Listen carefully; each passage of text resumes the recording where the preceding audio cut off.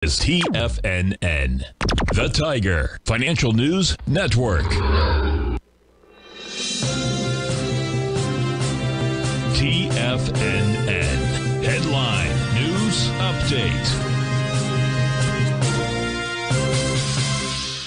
Good morning, everyone. Basil Chapman here. This is the uh, Tuesday, December the 19th, Tiger Financial News Network Market Update.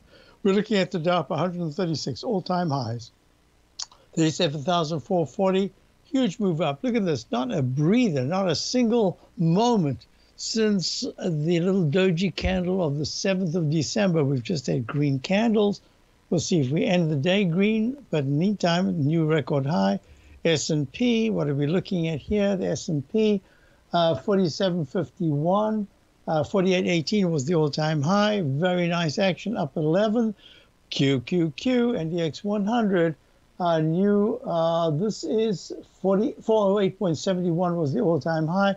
We've just gone to 408.53 within an eye blink of an all-time high. IWM Russell 2000, uh, Russell 2000 up 3.2. That's a good move.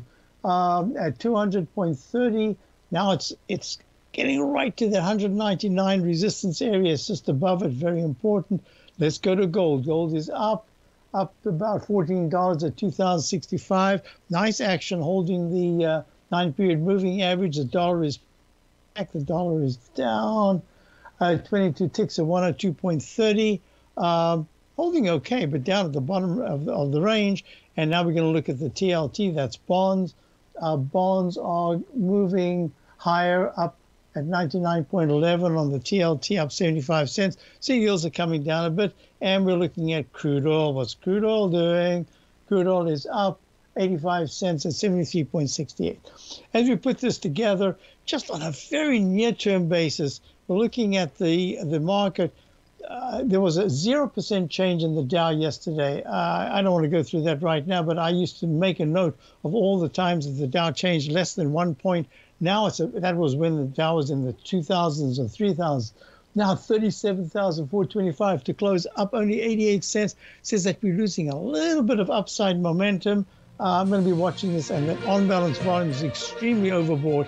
I wouldn't be surprised if we're really close to some kind of a breather, uh, but that weekly chart is really strong. I'll be back for the Tiger Technicians. Oh, don't forget tomorrow night at 4 o'clock for subscribers. I'm doing a webinar, and this one's going to be really important because it's looking at the laggards. Can they become leaders? I'll be back in a few moments.